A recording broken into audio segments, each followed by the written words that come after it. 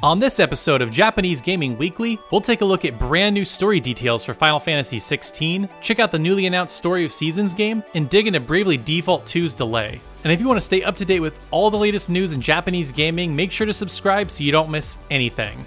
Let's get into it. So to begin, let's talk about Final Fantasy XVI and all the new story details that were revealed.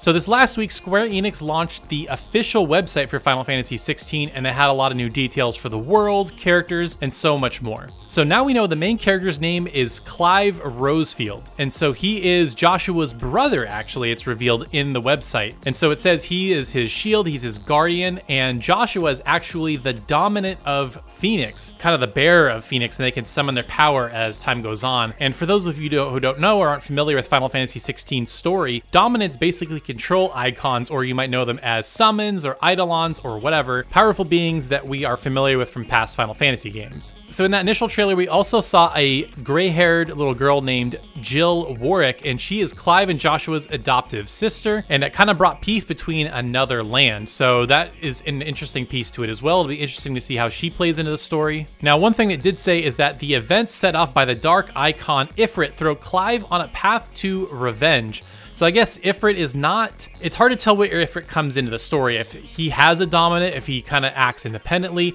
but Ifrit fighting the Phoenix is like the logo for the game. So clearly Ifrit plays a big part in the story. And my guess is that maybe Ifrit kills Joshua and that sets Clive off on a path to revenge throughout the rest of the game. We'll have to wait for the final game to see. And the tagline when you go to the website says, the legacy of the crystals has shaped our history for long enough.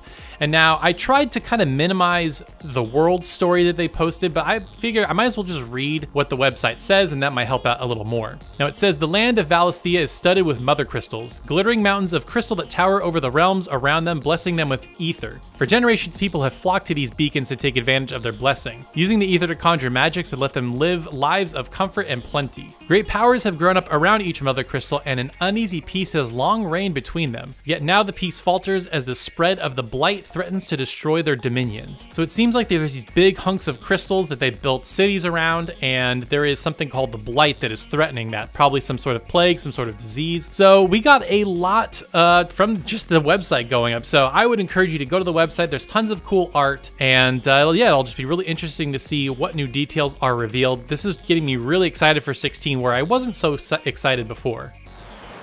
So next piece of news, Nintendo did a mini Nintendo Direct, a partner showcase that they call it, and there were a couple pieces of news that we'll talk throughout this video about, but the big one is that Bravely Default 2 was delayed to 2021. It was originally slated for a 2020 release, but they had to push it because I'm sure COVID has messed with it a little bit, but they said it'll now be releasing February 26, 2021. Now, alongside this, they also did a video where they talked about feedback they got from the demo earlier in the year and what they're doing to kind of adjust the game based on the feedback. Now, the two main ones were the difficulty and the user interface, and they did show that the difficulty, uh, there's going to be easy, hard, and normal, so that you can choose your difficulty at the beginning of the game. And they made some seemingly minor adjustments to the user interface to make things easier to understand what character's turn it is, when the enemies are about to attack, things like that. So I would encourage you to watch that video. I'll leave it in the description so you can see all the minute details of what they are changing for Bravely Default 2 in this uh, in the final version of the game. And there was also a new trailer that came out that talked about, you know, they showcased the Beastmaster class, the Bard class, a whole lot more. So Bravely Default 2 looks like it's shaping up to be a pretty awesome game, but unfortunately we're gonna have to wait a little bit longer to play it. In a bit of surprising news, Marvelous announced that there's going to be a new Story of Seasons game coming to Nintendo Switch in early 2021, and it's titled Story of Seasons Pioneers of Olive Town. Now, of course, this has a typical setup to a Story of Seasons game. You're wanting to leave the busy city and fix up your grandfather's farm, kind of out in nature, and this game seems to be drawing inspiration from Animal Crossing New Horizons, where you can sort of repair pieces to get you access to new parts of the world, and you can sort of customize your farm however you want. You can lay down pieces and decorations, so for people that really liked Animal Crossing New Horizons and how, based on how well that game sold, I'm sure there's a lot of you out there, uh, you can see that there's a lot of new customization coming to this Story of Seasons game. And you won't have to wait too much longer to play this because it's coming March 23rd, 2021 for Nintendo Switch. So, hey, 2021, early 2021 seems to be shaping up pretty well. Now, if you just can't get enough of your farming life sim fix, they showed more Rune Factory 5 in the Japanese version of the Direct, and that got a release date of May 20th, 2021. So it showcased a bunch of new characters, some improved dungeons and combat, and other things like that. So that is coming in Japan May 20th, 2021. Uh, Rune Factory 5 was not in the English version of the Direct, so I'm not sure if they're still working on it. It's going to come out a little bit later, but they have confirmed that it's coming to the West, but there was no date, new, no new English footage, no, you know, localized footage or anything like that. But uh, the new gameplay looked awesome. It's really cool to see more of this game and it's getting a release date. So my guess is that it's probably going to get a summer 2021 or late 2021 release for the West. So keep an eye out for that one.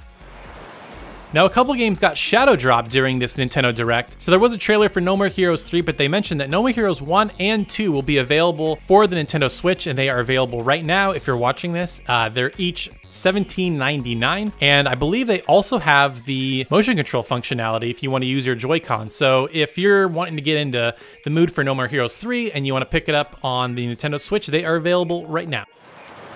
In a couple pieces of news that should be really exciting for Trails fans, the Crossbell games and Cold Steel 1 and 2 are both coming to Switch in Asia. So the release dates are that the Crossbell games Zero no Kiseki is coming February 18th, and Ao no Kiseki will be coming April 22nd, 2021, and that both of the Cold Steel 1 and 2 games will be coming summer 2021 to the Nintendo Switch. Now, there again, there hasn't been an official announcement from the uh, NIS America or Xseed or any, you know, Western publisher, but you know, they could be porting these games to Nintendo Switch. I mean, NIS America has been porting a lot of Falcom games to Switch, like, you know, Ys 8, Ys 9, Cold Steel 3. So I could see these coming, although it seems kind of late for the Crossbell games, but again, you just never know. We'll have to wait and see on these.